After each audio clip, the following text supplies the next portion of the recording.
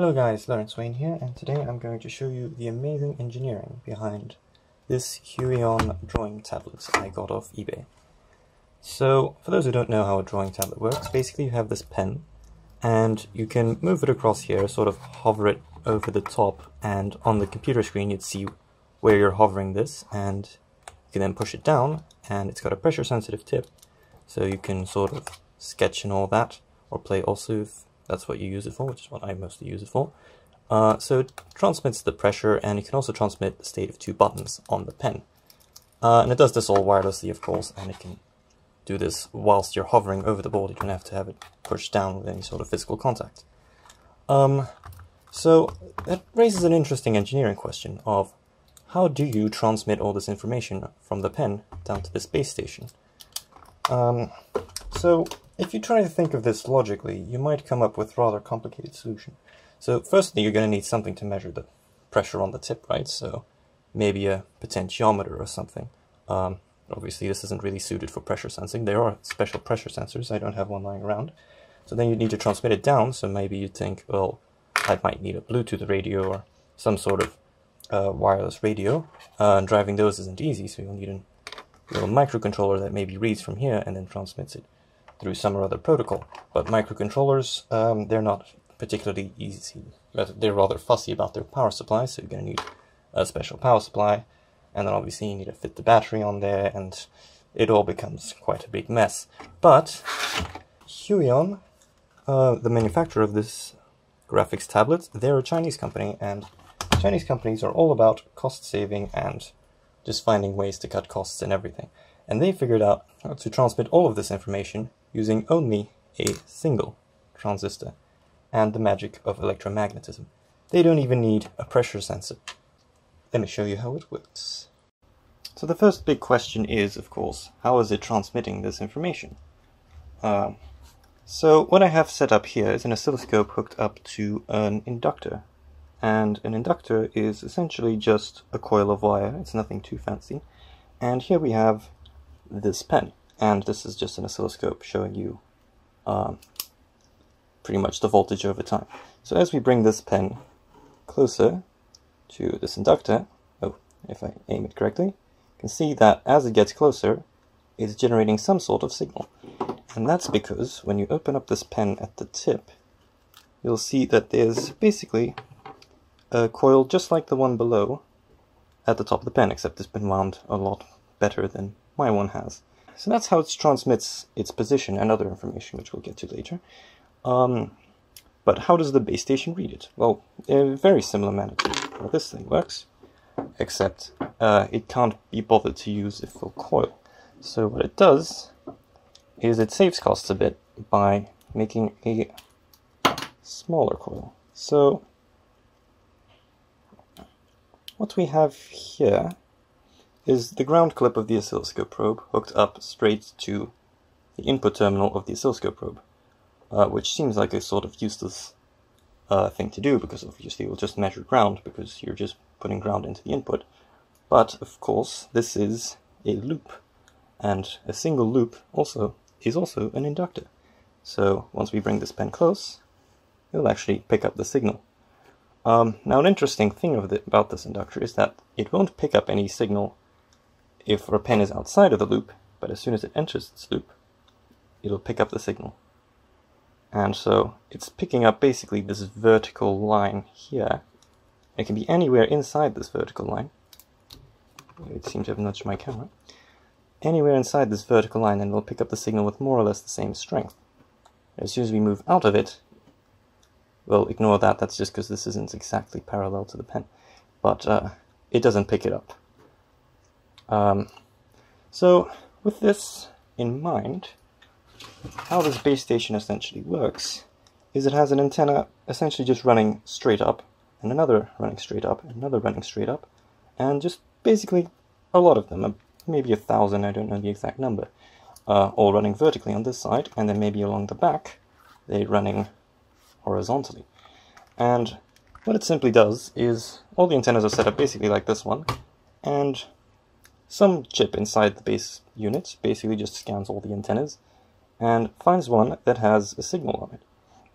And once it finds the one with the signal, it knows where our tip is on this board. So if, say, this antenna is picking it up and this antenna is picking it up, then the pen must probably be here. Whereas if it's this antenna and this antenna, then our pen is over there. So we just sort of scan all of them and figure out which one receives a signal. And so that's the problem of the positioning of the pen done. And because this is wireless, we've already figured out how to do this whilst the pen is hovering over the device, as long as it's, you know, within reasonable range. Um, how does it transmit uh, useful information? Well, it also transmits it over this uh, wireless uh, electromagnetic link, and it does so in a rather interesting way. So the buttons, when you push them, let me try and get this, I'm going to push the front button now, you can see that the waves move, and that's because the frequency is changing when I press this button.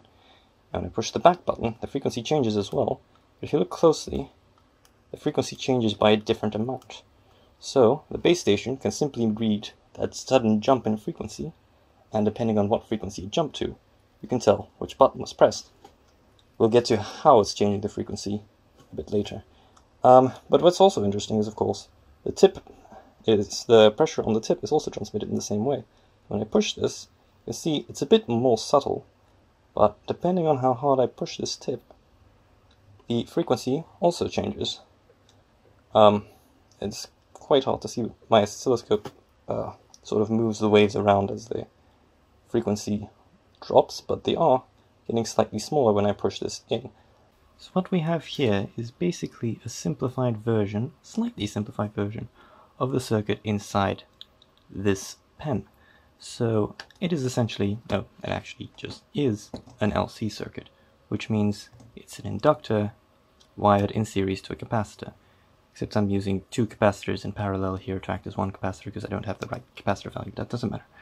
Um, anyway, if you remember from physics, wiring an inductor to a capacitor creates an oscillator because these will charge up and then they'll discharge through the inductor and once these have completely discharged, the inductor will want to keep carrying current through, so the capacitors charge up again, but in reverse, and then the process repeats, but now the current goes the other way, and then it goes one way and the other, and one the other, and it creates an oscillation.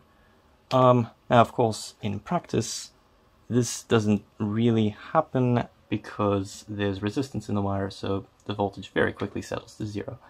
But um, for demonstration purposes, I just have a little function generator here, which will just generate a quick short, if we can focus, um, square wave of for 10% of the time, and then at some frequency that makes it easy to see what's going on.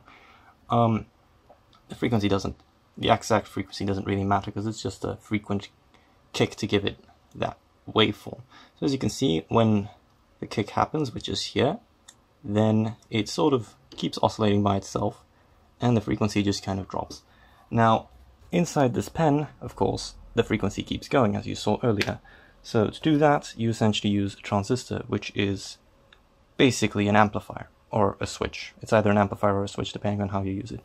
But that's going to be beyond the scope of this video, so we're just going to ignore it. But do know that you can amplify the signal over here to make it basically keep going up and down forever, which is exactly what this pen does.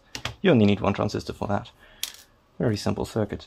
Um, now, of course, this coil is exactly the same as the coil over here, and as we saw, as a side effect of using an inductor, you create an electromagnetic field, which, as it turns out, you can pick up with a base station like this one. And so, in creating the signal we need to transmit, um, we're already transmitting it. So quite a bit of cost saving there. Um, how are we going to transmit the buttons? Um, simple enough, we just change the frequency, right? As you saw earlier.